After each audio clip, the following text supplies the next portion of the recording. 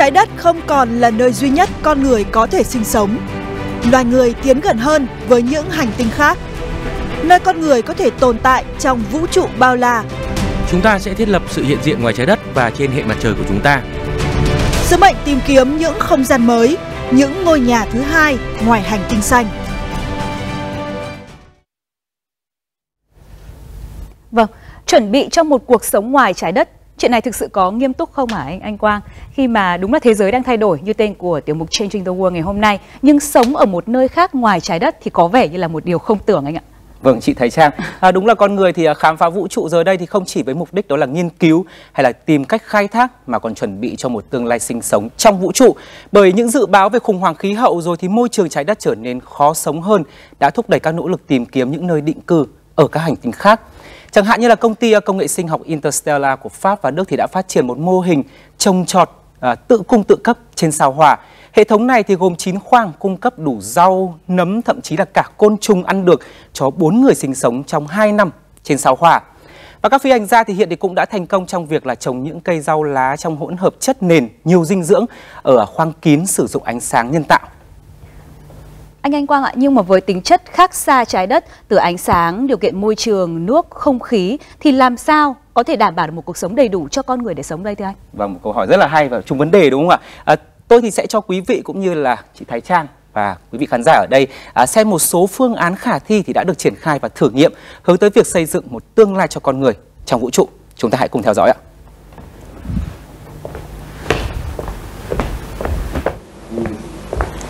Thưa quý vị, nếu trong quá khứ tổ tiên của loài người thì cũng từng à, khai hoang tìm kiếm các môi trường sống mới, thì hiện nay giấc mơ mang gươm đi mở cõi không chỉ dừng lại trên hành tinh xanh nữa.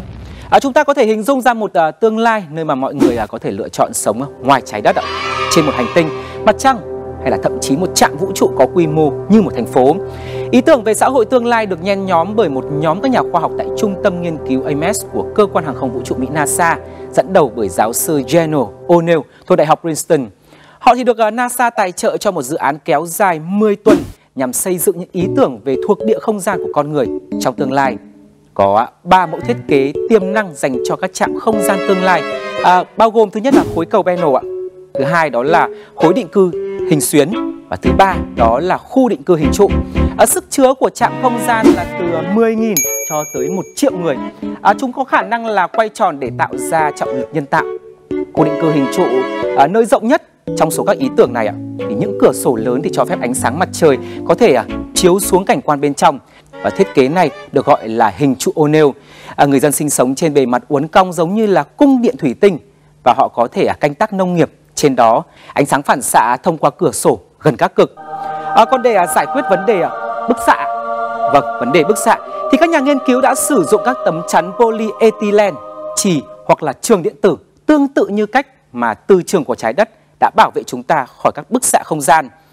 Còn à, tạo ra oxy trong không gian hiện nay thì sao ạ? Đó là thông qua điện phân nước. À, NASA thì cũng đã phát triển MOXIE có khả năng hấp thụ khí CO2, một nguồn dồi dào trên các hành tinh như là sao hỏa và chuyển đổi nó thành oxy như là carbon.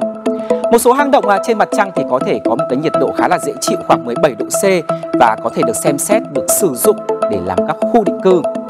Mới đây nhất, các nhà khoa học tại Đại học Bangor ở Anh thì đã phát triển nguồn năng lượng có thể cho phép các phi hành gia có thể sống lâu hơn trên mặt trăng. Nguồn năng lượng thì được cho là pin nhiên liệu hạt nhân có kích thước 12 đến 18 cm, à, cung cấp năng lượng cho máy phát điện hạt nhân vi mô. Nghiên cứu này thì có thể làm cho việc là du hành không gian an toàn hơn, hiệu quả hơn bằng cách sử dụng các công nghệ và vật tư có trong không gian để duy trì hoạt động của các phi hành gia và tàu vũ trụ.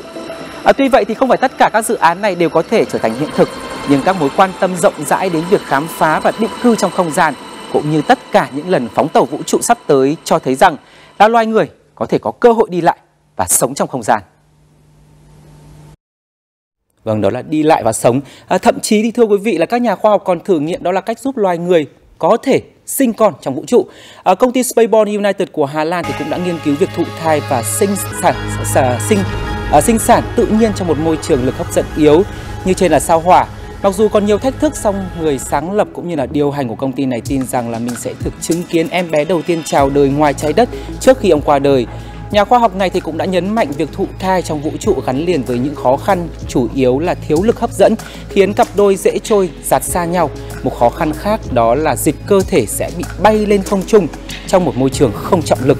Công ty của ông thì đang thiết kế một loại đĩa kết hợp hai tế bào trứng và tinh trùng nhằm tạo ra phôi thai có thể tồn tại được ngoài không gian. Sau đó thì à, phôi thai này sẽ được à, đông lạnh để tạm dừng phát triển được bảo vệ trong quá trình trở lại trái đất. Dự kiến thì một người phụ nữ trên trái đất sẽ được cấy ghép phôi thai này rồi sinh đứa trẻ trong vũ trụ. Hiện tại thì trước khi thử nghiệm vào uh, à, trên người thì công ty đang nghiên cứu về cách thụ thai tế bào chuột trong một môi trường mô phỏng lực hấp dẫn yếu. Thử nghiệm trên tế bào người thì sẽ được thực hiện trong 5 tới 6 năm nữa. Vâng, tôi chưa dám tin và cũng chưa dám nghĩ đến việc là các nhà khoa học đã bắt tay vào nghiên cứu cách chúng ta thụ thai và sinh con ở trên vũ trụ. À, anh Quang hãy thử tưởng tượng xem một ngày có một em bé được sinh ra ở nơi khác trái đất thì chắc hẳn đó là một sự kiện đột phá mang tầm thế kỷ. Nhưng câu hỏi được đặt ra ở đây là sinh ra rồi, vậy thì lớn lên sẽ sống như thế nào ngoài vũ trụ ạ? Vâng, điều này thì à, không còn viễn tưởng nữa đâu ạ. À, có khi à, tôi cũng như là chị Thái Trang cũng như là quý vị khán giả thì cũng sẽ có cơ hội sống trên vũ trụ đấy chưa ạ? À, cơ quan hàng không vũ trụ Mỹ NASA thì hiện tin rằng trong 20 năm nữa, vâng, chỉ 20 năm nữa thôi thì con người sẽ lên mặt trăng ở được, sau đó sẽ đến sao hỏa.